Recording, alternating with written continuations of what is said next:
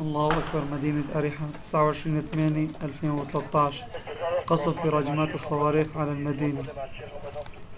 أدت إلى تهديم المنازل بأكملها. الله أكبر.